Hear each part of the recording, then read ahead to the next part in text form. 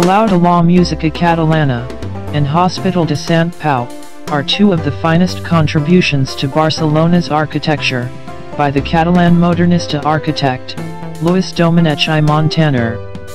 The Palau de la Música Catalana, is an exuberant steel-framed structure full of light and space, decorated by the leading artists of the period.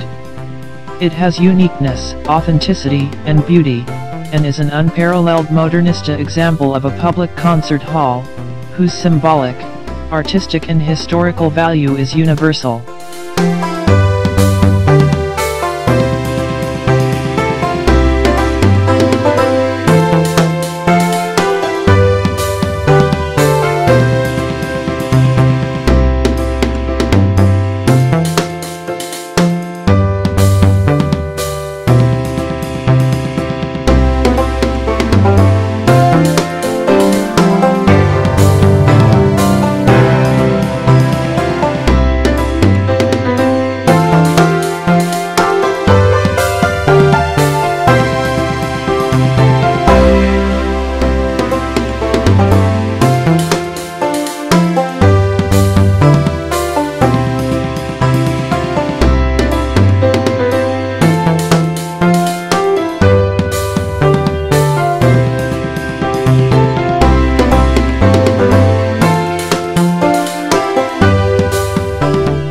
The Hospital de Sant Pau is also daring in terms of design and decoration, although perfectly suited to the needs of patients.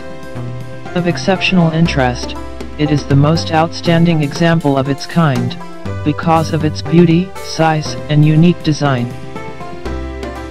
These are two of the earliest and finest examples of modernista architecture, of exceptional importance, both as manifestations of human creative genius and works of art, because they offered new architectural, typological, and artistic solutions to facilities for music and medicine.